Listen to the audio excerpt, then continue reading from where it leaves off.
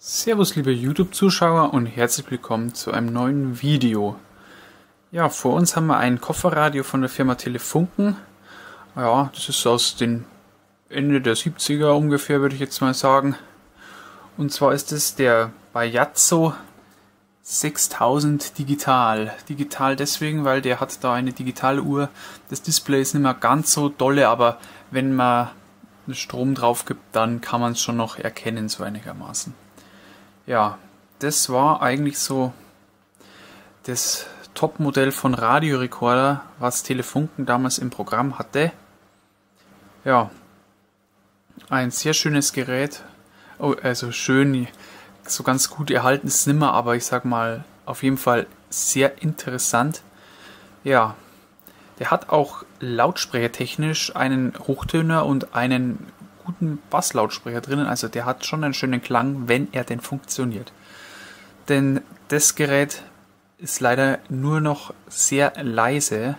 Es gibt nur noch ganz leisen Ton von sich. Und dem wollen wir jetzt mal auf den Grund gehen, warum das so ist. Und wollen den Fehler dann eben auch finden und beheben. Ja, und also jetzt nochmal kurz zum Fehler. Ich habe hier die volle Lautstärke, also er ist auf Anschlag und der Ton ist nur sehr leise und es brummt auch ein bisschen.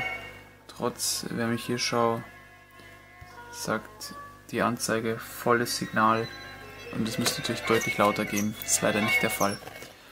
Ja, das heißt, da müssen wir uns jetzt mal auf die Suche begeben, woran es liegen kann. Vielleicht sind es ja nur die Elkus. Inzwischen habe ich schon mal das Radio jetzt hier auseinandergebaut und da unten ist mir doch hier diese, ich deute mal mit dem Finger drauf, ja, diese koklige Stelle aufgefallen und die Elkos da, die schauen noch sehr aufgebläht aus. Ja, da ist es anscheinend mal recht warm geworden. Ja. Jetzt werde ich zuerst einmal diese Elkos da tauschen, weil einen Schaltplan habe ich aktuell nicht da. Ähm, ich versuche jetzt einfach einmal erst einmal, ja, schauen, ob man es da so hinkriegen ohne einen Schaltplan und wenn das jetzt nicht hilft hier, weil ich meine, das ist optisch ersichtlich, dass die Elkos nicht mehr so ganz in Ordnung sind. Ja, und wenn wir da sogar ans Ziel kommen, dann ging das relativ schnell. Wenn nicht, dann müssen wir, wie gesagt, halt einmal den Schaltplan bemühen. Was mir gerade auch aufgefallen ist, hier ist das Datum, es war der 15. Oktober 1979, wo dieser Radiorekorder gebaut worden ist. Also schon ziemlich am Ende der 70er Jahre ist der produziert worden. Gut, also wie gesagt, dann kümmere ich mich jetzt hier mal um diese Elkos und tausche die mal. Ja, da haben wir auch noch einen, der neben dem großen, da ich deute auch mal wieder hin hier, da, der schaut auch nicht mehr ganz so gesund aus. Den tauschen wir auch. Das ist eh nötig und von dem her, ja, schauen wir mal, ob das dann den gewünschten Erfolg bringt und der Radio dann wieder so funktioniert, wie er eigentlich soll. Ja, der Elko-Tausch hat leider jetzt nicht zum gewünschten Erfolg geführt. Ihr seht hier, ich habe die mal ausgetauscht, die recht böse ausgeschaut haben. Und jetzt habe ich mal im Schaltplan nachgeschaut. Die haben jetzt eigentlich mit der Endstufe jetzt einmal nicht so viel zum Schaffen. Äh, wenn wir hier schauen, das ist dieses IC TBA 810 und das ist sozusagen das Verstärker IC hier eigentlich. Ich habe jetzt da mal die ganzen Spannungen gemessen und die passen eigentlich alle. Ja, also habe ich mir jetzt gedacht, ja, ist vielleicht das IC kaputt.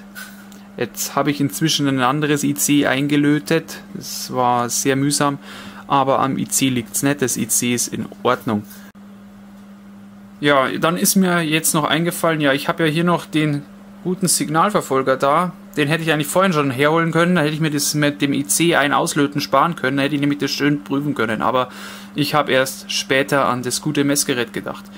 Ja, also bin ich mal wieder dem Pfad hier des Audiogangs hier abgegangen mit dem Signalverfolger, habe am Ausgang geschaut und habe am Eingang geschaut, was da reinkam und wie es denn das Signal war. Ja, leider war es am Eingang sowie am Ausgang schon fehlerbehaftet, also muss es weiter oben, von dort oben hergekommen sein. Und dann fiel mir halt die ganze Sache ja, auf mit dem Kassettenteil. Dann habe ich mir gedacht, ja, da muss irgendwas mit dem Kassettenrekorderteil sein. Der muss da ja, der muss ja auch irgendwie verstärkt werden, das Signal davon. Und dann ist mir aufgefallen, dass es hier einen Schalter gibt.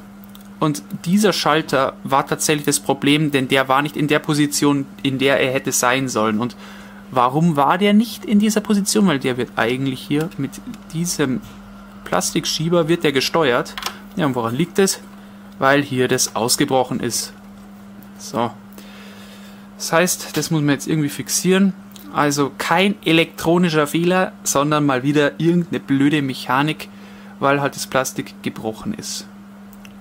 Ja, eigentlich ganz simpel. Jetzt hätte man sich die ganze Geschichte sparen können mit Rummessen und allem. Aber ja, nur so bin ich jetzt da drauf gekommen. Vielleicht hätte es wer anders gleich gewusst. Ich habe es nicht gleich gewusst. Ich habe halt erst etwas rummessen müssen und mich wundern müssen, dass eigentlich alles ja, spannungstechnisch in Ordnung war. Gut, somit haben wir das Problem jetzt gefunden. Das versuche ich jetzt irgendwie zu fixieren. Ich glaube, ich nehme einfach einen Kabelbinder her, weil die Bruchstücke sind leider nicht da. Ich weiß nicht, wo die sind. Das ist ein bisschen blöd, aber schauen wir mal, was wir da zusammenbasteln können. Ja, nachdem ich das Radio geschüttelt habe, weil ich mir dachte, die Bruchstücke müssen doch irgendwie da sein, ist tatsächlich was zum Vorschein gekommen.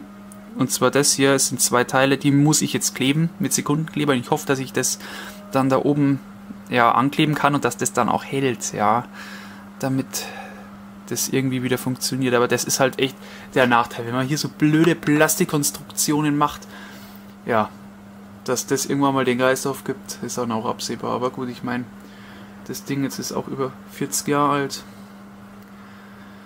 Ja, die Hersteller haben heute wahrscheinlich nicht mal mehr so gute Sachen, wie sie damals gebaut haben, ja.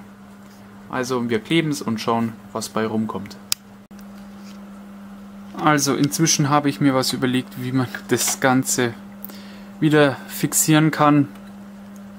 Also ich habe mal oben hier das Plastikteil wieder versucht anzukleben und habe bei dem äh, Sprengring, der da vorne drauf ist, der diese Welle da oder den Stab da, den Metallstab äh, fixieren soll, dass der nicht verrutscht, habe ich eine Schnur eingefädelt und die da mal richtig nach unten gezogen und drum gewickelt und dann hinten an der Schraube da fixiert, dass, äh, sag ich mal, ein bisschen Druck abgenommen wird und nicht der ganze Druck jetzt auf der Klebestelle lastet, weil ähm, früher oder später wird das wieder sonst brechen. Und so, sag ich mal, wenn es oben brechen würde, würde es trotzdem noch in der Position bleiben, dass man die Schalter, also die, diese Schalter hier, dass diese da noch mit diesen schwarzen Plastikhebelchen da betätigt werden können.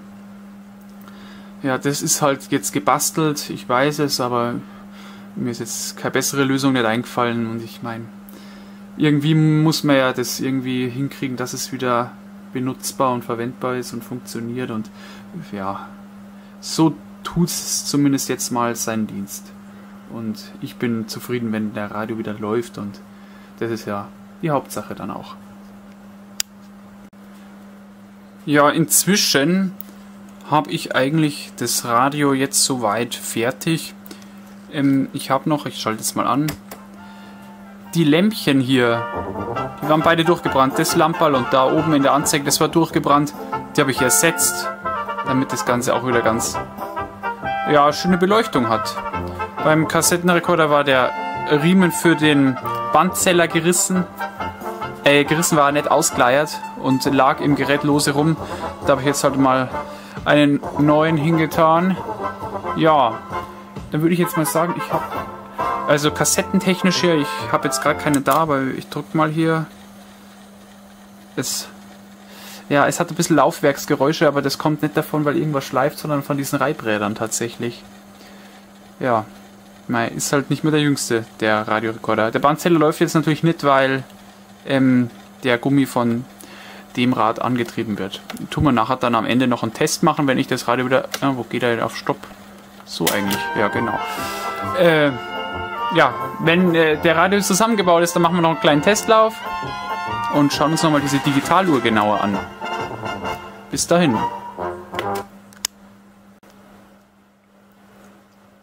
Ja, dann schalten wir jetzt mal zum Abschluss unseren Telefunken Bajazzo CR6000 ein. Kollegen Schätzchen. Ein Mann wie Dick Dickens weiß sich anders zu helfen.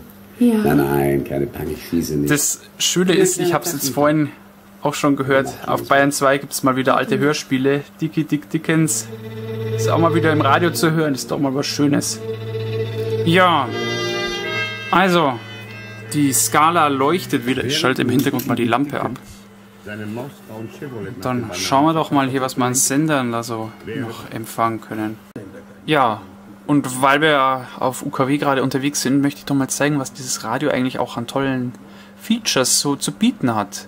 Denn wir haben hier fünf Speicherplätze, fünf UKW-Stationstasten und das ist doch eine ganz feine Sache, wenn man auch einer ist, der häufig zwischen den Sendern ja, springt, da kann man da schnell per Tastendruck auf den nächsten Sender. Ich finde, ich mag das immer besonders gerne, so Stationstasten sind eine feine Sache.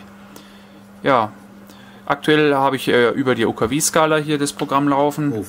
Können wir mal schnell am Senderrädchen drehen. Ja. Wir können, mal hier machen wir mal ein anderes Programm rein. Vielleicht bessere Musik hier. Ja. Und den Rest halt haben wir die normalen Wellenbereiche, Langwelle, Mittelwelle, Kurzwelle, wie man es so kennt von den anderen Geräten.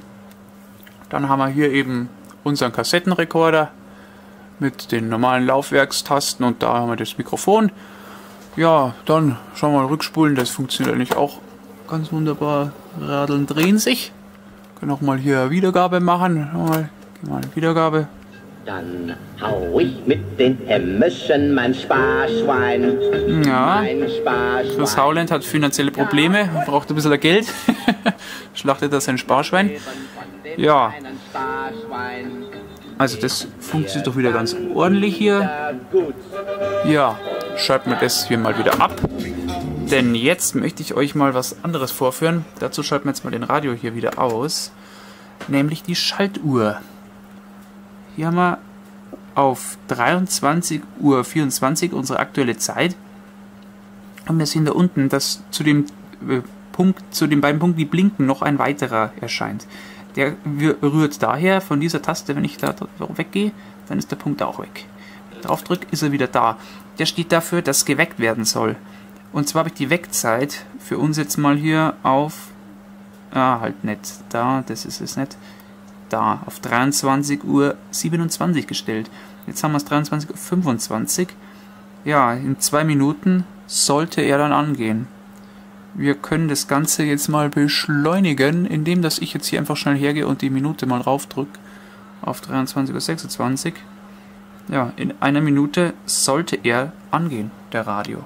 Schauen wir mal, was passiert in der... Also ich hoffe, dass er angeht. Ich glaube sogar, man kann sich auch vom Kassettenrekorder wecken lassen. Das könnte man nicht auch mal ausprobieren. Jetzt schauen wir mal, ob das Radio angeht. Also das funktio müsste funktionieren, so meine ich ist auch die Funktion.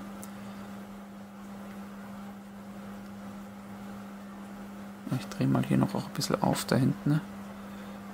Eine gute Lautstärke dann da ist. Ha. Und schon läuft er. Das ist doch eine feine Sache. Ja, das ist ein toller Radiorekorder. Ich glaube, das war wohl ein Traum von jedem Jugendlichen 1979 dieses Teil besitzen zu können. Ich hätte es damals auch gerne gehabt, aber wahrscheinlich hätte ich es mir nicht leisten können. Es war schon teuer, dieses gute Stück.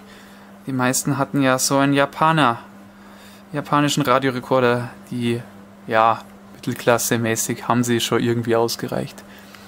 Gut, was interessant wäre jetzt, da das Ganze ja über den Timer läuft, aktuell und der Ein-Aus-Taste nicht gedrückt ist, hier wie wir sehen, müsste jetzt, wenn ich hier den Kassettenrekorder nochmal drücke, der auch laufen.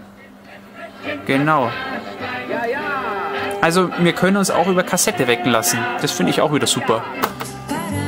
Also die Herrschaften von Telefunken haben da so ziemlich an alles gedacht, was äh, ja, was man bei in den Radiorekorder eigentlich reinpacken kann. Ne? Tolles Gerät, wirklich super Ding. Sieht man auch nicht so oft, ja, also der wird auf jeden Fall in Ehren gehalten. Dann möchte ich mich auch verabschieden und ja, bis zum nächsten Video sagen. Freue mich, wenn ihr wieder dabei seid. So, dann schalten wir diesmal jetzt so aus hier, Automatik aus und Ade.